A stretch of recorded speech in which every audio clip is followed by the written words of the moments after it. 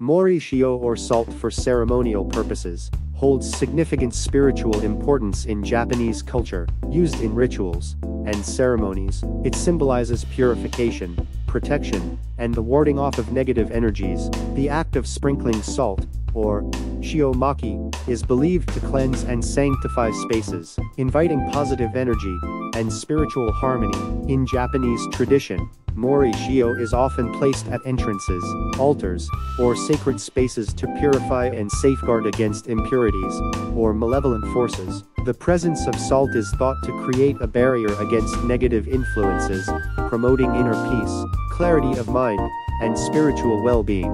Moreover, the mineral composition of salt is believed to resonate with the body's energy centers, or chakras, facilitating balance and alignment of the spirit. Its crystalline structure is thought to absorb and neutralize negative energies, promoting a sense of grounding and stability. In essence, Mori Shio embodies the profound spiritual connection between humans and nature, serving as a potent symbol of purity, protection, and spiritual renewal in Japanese culture.